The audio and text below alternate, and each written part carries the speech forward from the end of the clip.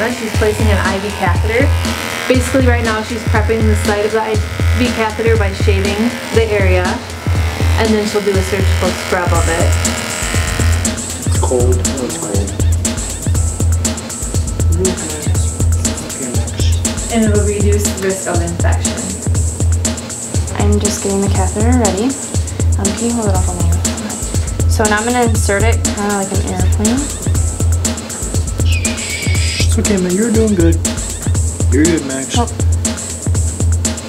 Here you go. There. So now he's going to let up because. Oh, I didn't hold on again, sorry.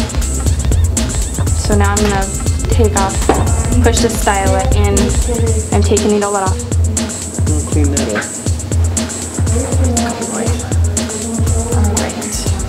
So now I'm going to start taping the catheter to him.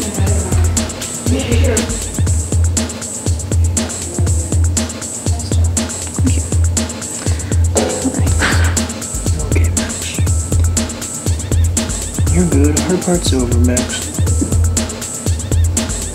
Tolerating this very well.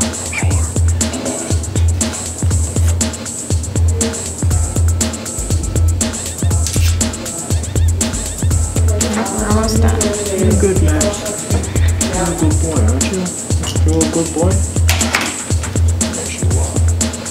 Now I'm going to flush the catheter and I'm flushing it with lactated Ringer solution.